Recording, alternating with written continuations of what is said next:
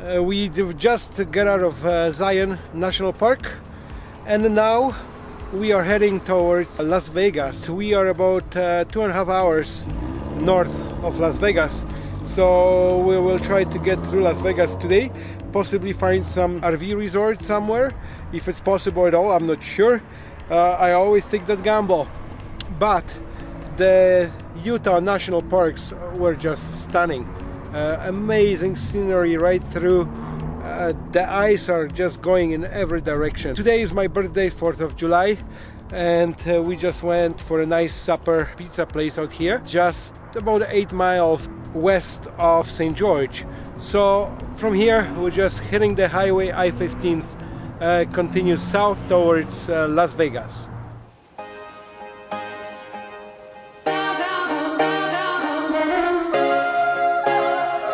I've been watching you from a distance as I turn out all the lights.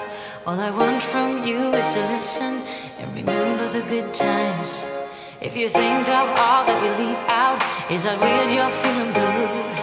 I know nothing ever turned out as you wanted to.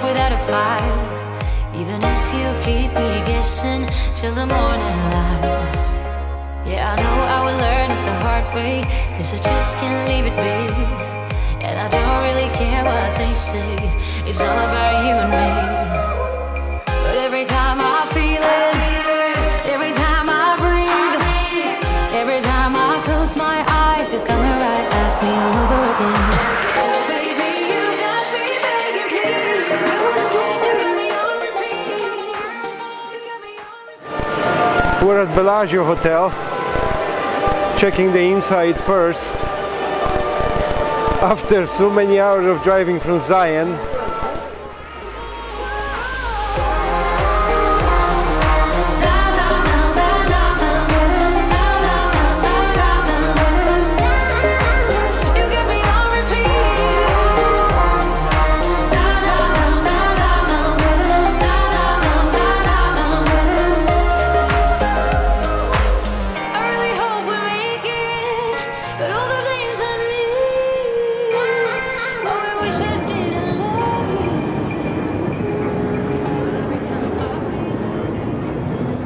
woke up at 8 o'clock in the morning and it's almost midnight. After all this day of driving, we made it to Las Vegas. First hotel we parked in is uh, Bellagio, as I stated earlier, because we went right inside, and here it is. And we are waiting for the Bellagio fountains to go on.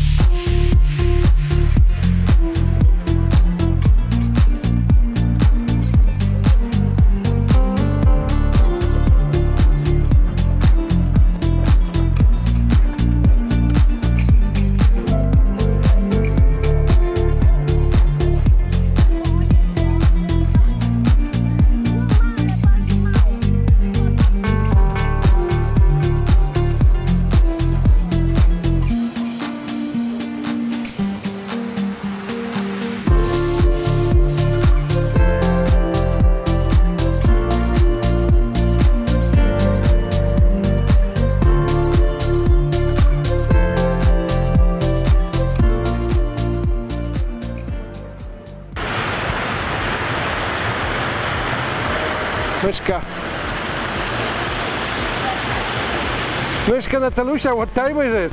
I don't know, like 1 a.m. Like 7 in the morning? exact.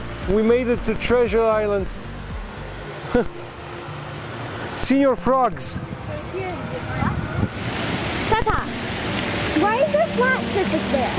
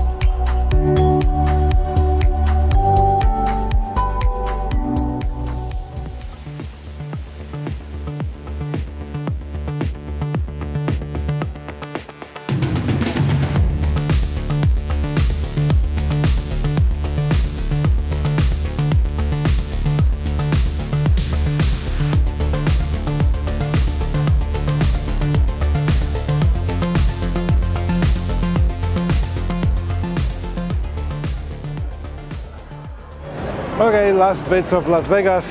One more, we're gonna go to Bellagio and we will wrap up the trip.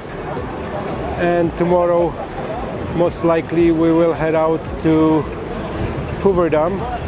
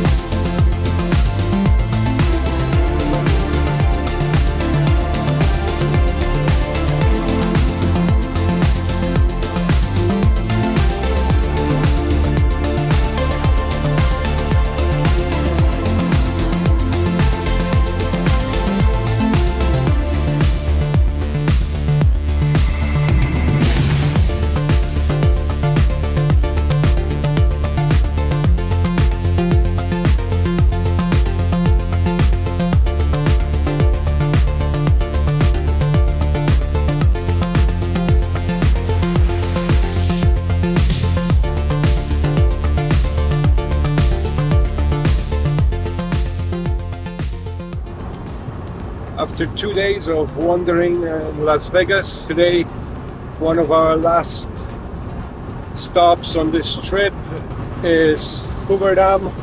So that's where we're heading right now, just leaving uh, Las Vegas toward Boulder City. I'll film a little bit on the way here and then once we get on site.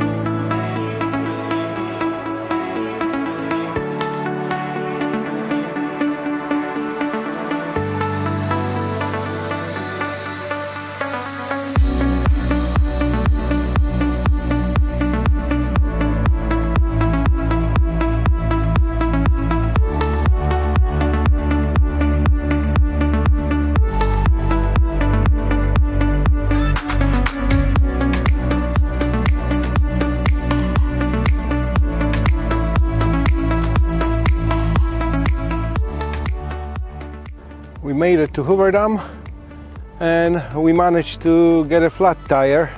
How convenient. There's always something going on, but so far the trip was okay.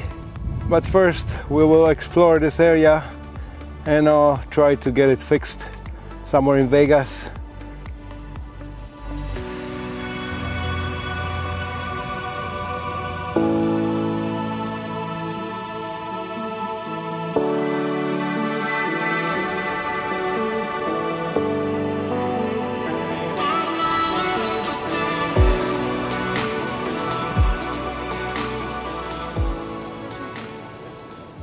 Comprises the canyon walls, it's a volcanic conglomerate. You can call it lava rock, I will not be offended.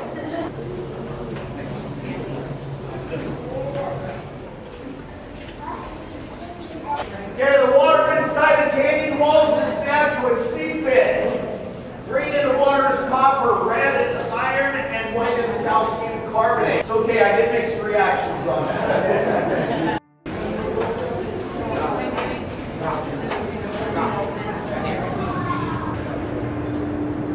We have proclamation, welcome to the Nevada side of the power plant. Now this is the point pointed tour where I get to test your knowledge based on the information that I've given you.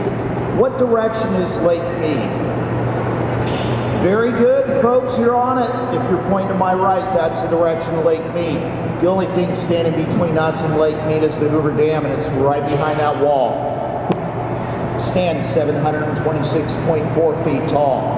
Spans across Black Canyon 1,244 feet, measuring the top curvature all the way down to the end of the bay. The length of the Nevada power plant is 650 feet. You add 10 feet to that, you've got the thickness at the bottom of the dam, and that is 199 feet below.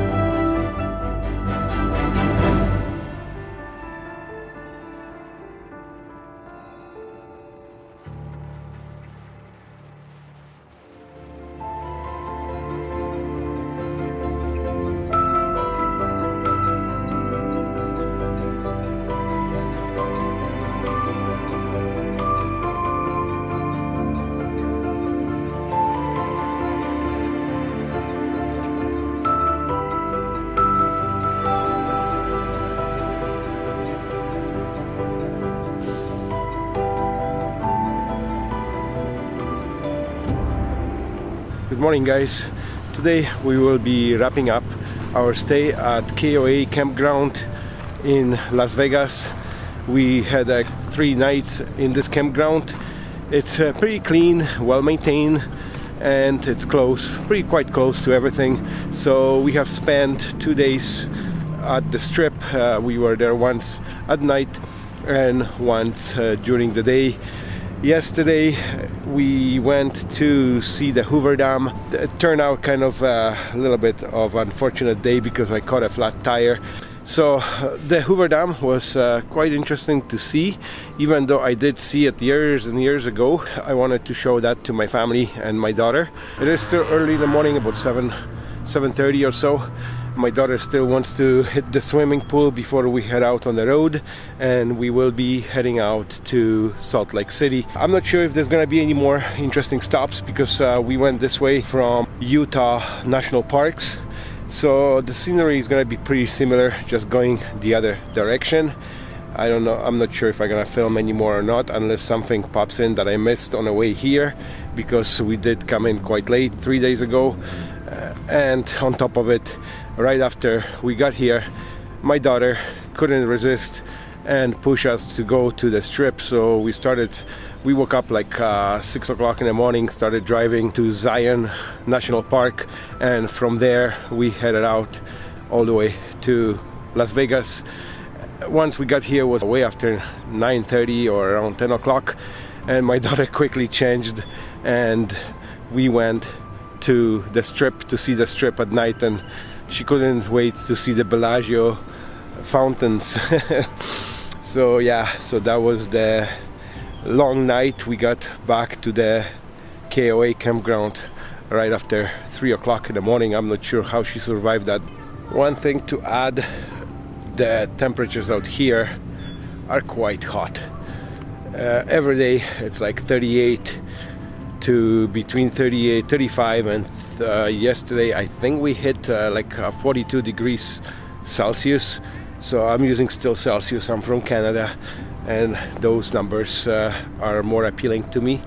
But yeah it was bloody hot. If you are planning to stay at this campground or in Las Vegas not in a hotel I really recommend having air conditioner working on a, your recreational vehicle our AC is running pretty much 24-7 here so we are able to manage all that heat uh, even when we are sitting at the pool, I burn my shoulders a little bit, even though I don't burn that easily, but uh, that was the result of not putting any sun sunscreen. So now it's time to wrap everything up, pack it up, and start heading back on the road. So if you need any type of food, the Walmart is right behind me, so you can stock up on food and cook your own meals and there's other stores as well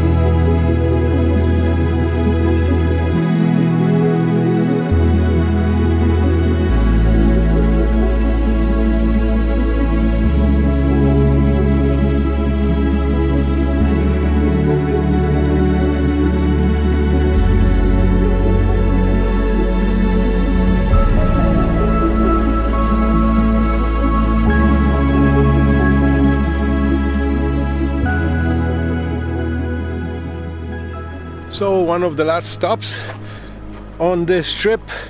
Not planned but we have two days to spare before my daughter and wife catching the flight.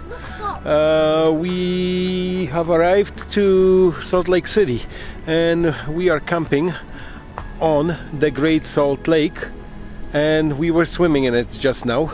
I filmed some content a little bit with the drone it's a state park so it's uh, 35 bucks a night. And tomorrow we will be staying at KOA in Salt Lake City near the airport. That's like $107 a night. Uh, if I would know that uh, that's the case I would book both days in here rather than KOA because uh, there's pretty much full hookups as well but I just took the electricity and water for tonight. So anyways that's gonna even out to the average price at the end of the day. So right behind me as you see uh, there's uh, mountains. And on the other side I'm surrounded by mountains as well. And I'll turn around. And right here we have the Great Salt Lake. So when you swim in it it's floaty. Makes you really floaty. You can lay on your back and chill and you will be floating without any movement. It's 16% uh, more salty than ocean, so yes, it is salty, and when it gets into your eyes, it's really burning as well. Uh, the good thing is they have the little showers on both sides of the campground here and the visitor center, so you can rinse off from all that salt because once you get out of the water, your skin gets tight because that salt dries out very quickly on you. Natalie found a chunk of salt. Two. Or two chunks right on the shore. Anyways, so that's the beach area. It's got a quite unusual smell, but it's all natural.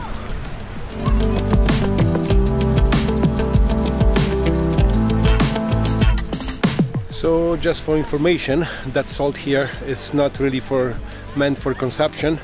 It's mostly used for road salt to salt the roads in uh, winter and also for water softeners what we're using for example in Alberta or I'm not sure for maybe other cities as well using the water softeners so that's what this, the mining of that salt around this area is for uh, that's something that I just find out because I asked in the information center if that salt can be eaten. It can be, but it's not really worth it to get through the, through the purification process for consumption. And the funny smell also on uh, beaches here, uh, it's because it's got distinctive smell, is from all the bacteria because there's only some kind of a shrimp, like what kind of shrimp was that? brine shrimp or something yeah. she said yeah so that's the only three different species of that brine shrimps that live here. No other fish and also a lot of dead birds along the shores they decom decompose on the beach here and uh, create that not too pleasant smell. But the water is safe to swim and it's clean actually even though it looks not the cleanest. Another species that live here is like 1 million gazillion of tiny flies that are pretty annoying once you get to that shore. But uh, while you're here it's worth to hit that water and go for a dip take a plunge and enjoy the floating on the water without any movement. Right behind me if you go further down the road there's a Bonneville racetrack that we went last year and rode the motorcycles